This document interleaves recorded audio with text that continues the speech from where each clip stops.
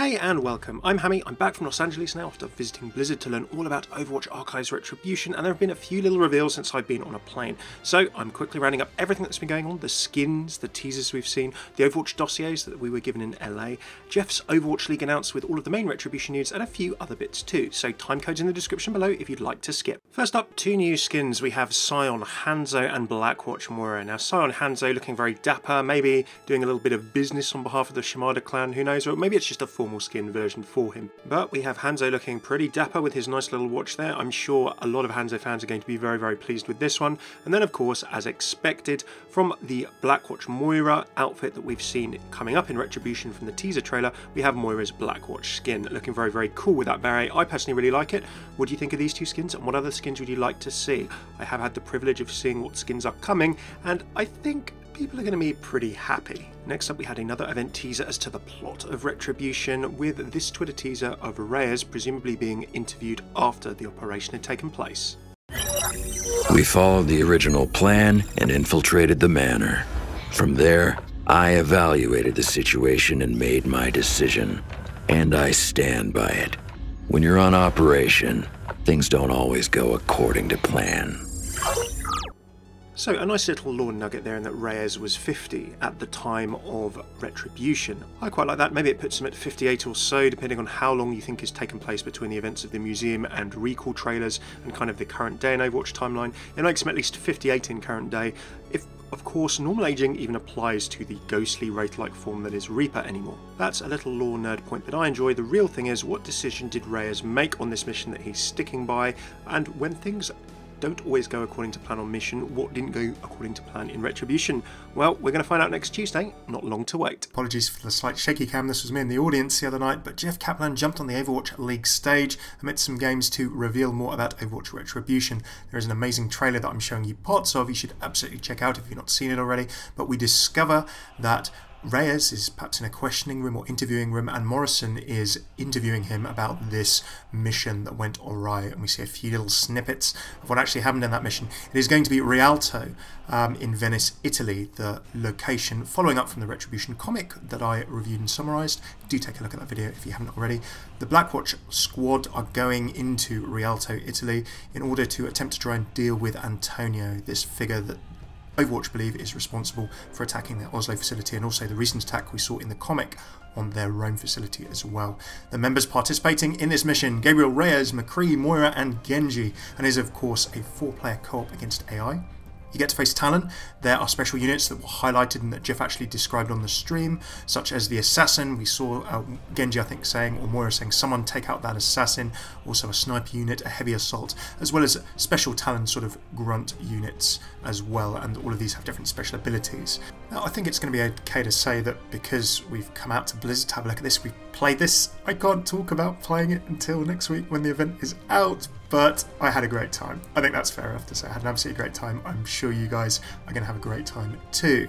Now, returning like Uprising, there is an all heroes mode you can do this in as well. I had a lot of fun playing as a couple of different heroes. Uh, Brigitte was a lot of fun. I can't say any more than that. Uh, there are going to be four difficulties, of course, and then also what would an Overwatch event be without a little bit of extra loot. Now, there are new loot box items, of course, coming on the stage. Jeff decided to reveal that there is a Soldier 24 skin coming for Reyes or Reaper, showing what he was like in the Soldier Enhancement program. Now, the eagle-eyed lore watchers amongst you might remember that there's a Soldier 24 folder in the Oasis spawn rooms, I believe it's University. So there you go, Moira having a little look at Soldier 24 and things in the past previously. So a really awesome reveal. Okay, a couple of other bits. Well, the Blackwatch archive. Now, you may have seen me share on Instagram the other day a picture of this little Blackwatch dossier. I can now show you what's inside. We get a little personnel detail file on Antonio Bartolotti, of course, the figure that we see as being held responsible for the various Overwatch attacks. So a little bit of information about him there. You see a little blanked out name there, but we obviously know that Vialli is the Talon council member that Doomfist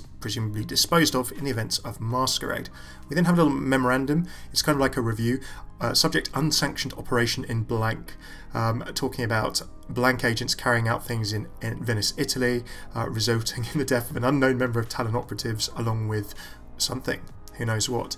Uh, it talks about background and mission report. There's a lot of it blanked out. Now, one thing I should say is that these Blackwatch archives that we've been given, if we attended uh, this Blizzard event uh, that I'm just about to fly home from, were given to a few people. So it may be worth uh, trying to have a look at other people who've shared this on social media in different places and seeing if there's any different in the blanking out. I will take some higher def photos and share them on my Twitter at FailcraftCasts so you can have a look at these uh, that I've been sharing in this video here anyway. The final one is talking about uh, an organisational profile of Talon prepared by Gerard Lacroix, who of course we've seen in the Retribution comic.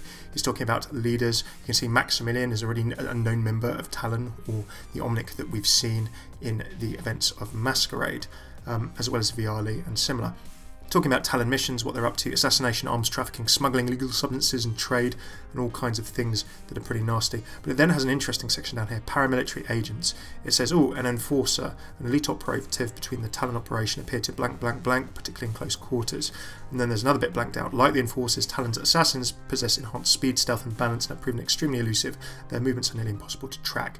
Now, I believe that's referring to the assassin that we see and that you will have seen in the Overwatch uh, Retribution trailer that the team are being called to take out, the one that's jumping around really, really, really quickly. So yeah, some interesting little bits in there, kind of referring to things that are in the trailer, but just a nice little extra thing for us to all enjoy, so I'm glad that I got to share that with you. It may have snuck under the radar a bit, but a Mercy statue has been unveiled. I know this is nothing to do with Retribution, but just catching up on little bits of Overwatch news as I have been. It looks so, so cool. It is, I believe, retailing at 175 bucks, so I think that's a little bit more than the average statue, but not as expensive as our Lord and Saviour D.Va when it comes to statues, her massive 500 buck statue. Um, with all these statues for me, it's kind of like all or none. So I, at some point, I'm going to get a whole bunch of these and it's going to be glorious. But just right now, oh, I wish I could jump in and get it. Are you going to jump in and get this statue? Do you have a nice statue collection? Do you have the D.Va statue? Let me live vicariously through you. Tell me how wonderful your D.Va statue is if you own that statue, because that thing looks absolutely awesome. Okay, last but not least, now I got a really spontaneous and cool opportunity to do some talk about Overwatch lore and game and interactive storytelling with a host who I've admired the work of for quite some time on our channel, whose work I absolutely love and watch myself. I'm actually going to be on Lore Masters with Ryan Green. I've watched that series myself, really, really love it. It's a series on Geek and Sundry. You might be familiar with them on Twitch as a channel that do Dungeons and Dragons and role playing of different kinds. They've got loads of games going on. Critical Role, of course, uh, Dungeon mastered and hosted a Dungeons and Dragons game by Matthew Mercer, who's of course the voice actor for McCree, and also a bunch of the guys on there do a bunch of voices for a lot of Blizzard games and things as well. So it was a really really cool opportunity to go on Ryan Green's Lore Master show. We talked about Overwatch lore, story, and Blizzard games in general, a whole bunch of other stuff as well. It was really really fun. Now at the moment there's two ways you can watch it because it's actually already been on live. It was literally on the night that I was flying back from the UK. So sorry for no more notice on that.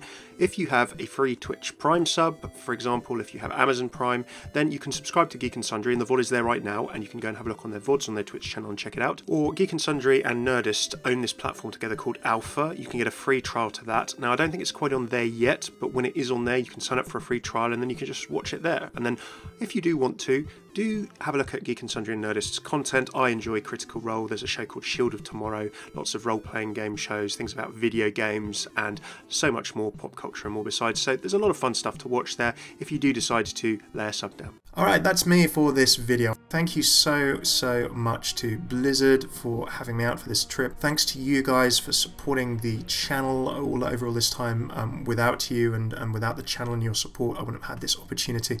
And the biggest thanks to my wiser half. Uh, without her support over these last couple of years, I just wouldn't be here doing this kind of thing and being able to do this kind of thing for you. So a huge thanks to her.